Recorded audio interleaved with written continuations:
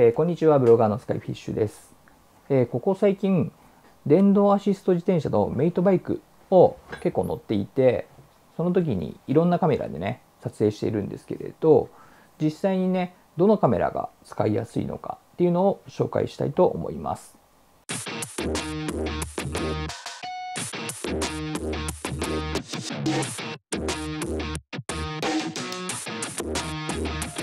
今回ね、実際に使った5つのカメラを紹介します。それがね、こちら。はい、で、実際にこれ使ったカメラなんですけれど、特に使ってみたカメラでどれが一番面白いかなってあげるとすると、これ、360度カメラ。これはインスタ 3601X です。で、まあ、前回もね、動画で、この360度カメラの設置方法を紹介したんですけれど、設置する場所によって、例えば前につけたり、後ろにつけたり、で、えー、自撮り棒で長さを調整したりすることによって、360度の映像を記録してくれるので、後でいろんな画角に変更できるんですね。で、その画角の調整の幅がすごく広くて、普通のアクションカムのような視点から360度カメラならではのリトルプラネットっていうね、ちょっとユニークな映像になったりとか、自撮り棒で後ろにね、設置すれば、走っている後ろからの様子っていうのをね、ドローンで追跡しているような、そんな映像が撮れたりするんで、1台で結構何何度でも美味しいっていうかね、本当にいろんな使い方ができるので、この360度カメラ、サイクリングしてる人にはすごくおすすめです。で、僕360度カメラってこれ多分2年ぐらい前に買った機種なんですけれどなんかね買っても普段使いはあんまりできなかったんですよね。なんか旅行に持ってって旅先でこう360度写真撮ったりとかはあったんですけど普段使いってなかなか難しくて使っていなかったんですけどサイクリングでこう使うようになってすごく僕の中では使う頻度が上がりました。でそれぐらい360度カメラってサイクリングにはぴったりなので、ぜひ試してみてください。で、次におすすめなのは、これ。GoPro Hero 9です。やっぱりね、GoPro 綺麗だし、僕はね、よくこうマウントでね、首に引っ掛けるマウントがあるんで、このネックレスみたいな感じで、で、こう走ってる様子を映しているんですけれど、GoPro の画角がすごく広いのと映像がねすごく綺麗に撮れるんでかなりこれも使えるカメラですね。なんで僕はかなりこの2台はすごくおすすめです。で、えー、GoPro 安定した綺麗な映像が撮れてそれで手ブレ補正もすごくしっかり効いてくれるのでかなりサイクリングにはぴったりなんじゃないでしょうか。これはまあこんな感じでつけてます。次にまあ、もうほぼ同率なんですけど、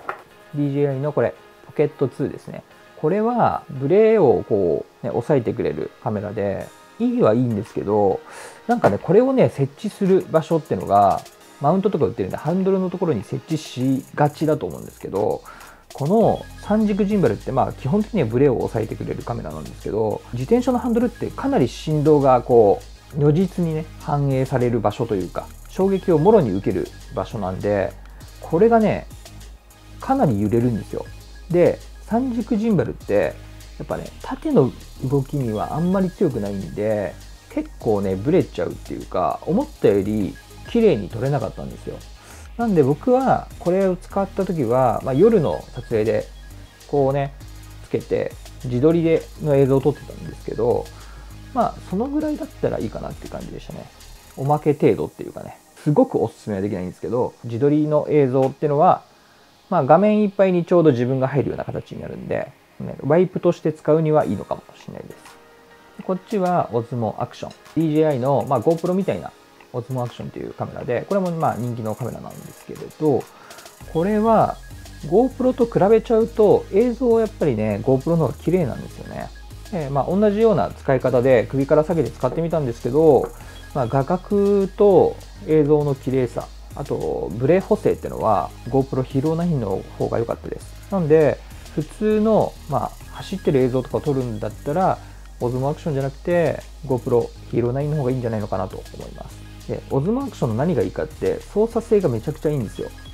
GoPro もお世辞にも操作しやすいとは言えなくてこのタッチディスプレイがめちゃくちゃ反応悪くてこれね GoPro はね Hero 5ぐらいから使ってるんですけど全然悪いんですよ昔から。一向に操作性のこの、ね、タッチの反応良くならなくて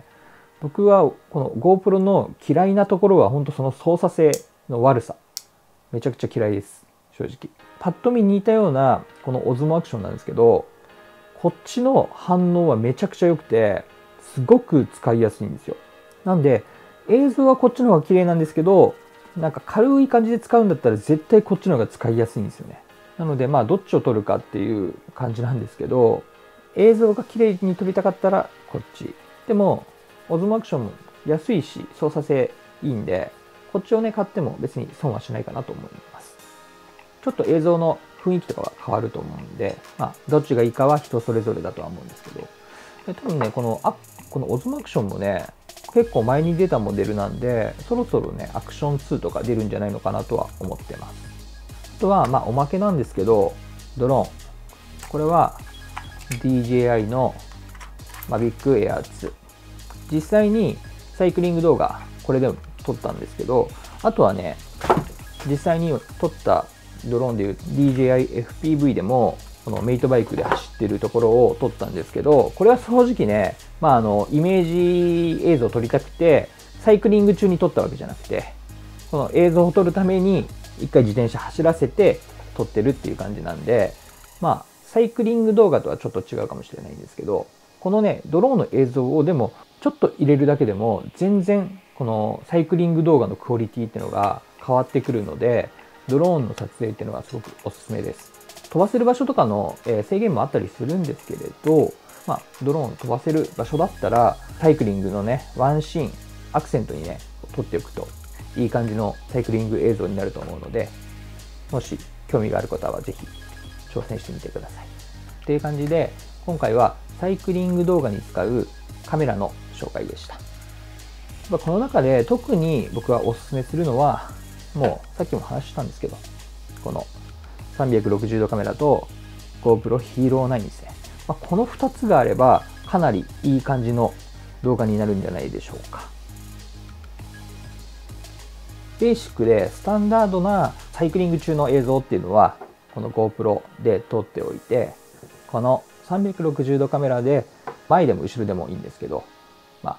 ちょっと俯瞰のような映像をねこれで撮っておけば後で編集の時にいろんな映像の選択肢っていうのがこの360度カメラで広がるので是非この2つ使って撮影してみたらいいんじゃないでしょうかね。っていう感じで今回は僕が使っているサイクリング動画のカメラについての話でした。ありがとうございました。スカイフィッシュでした。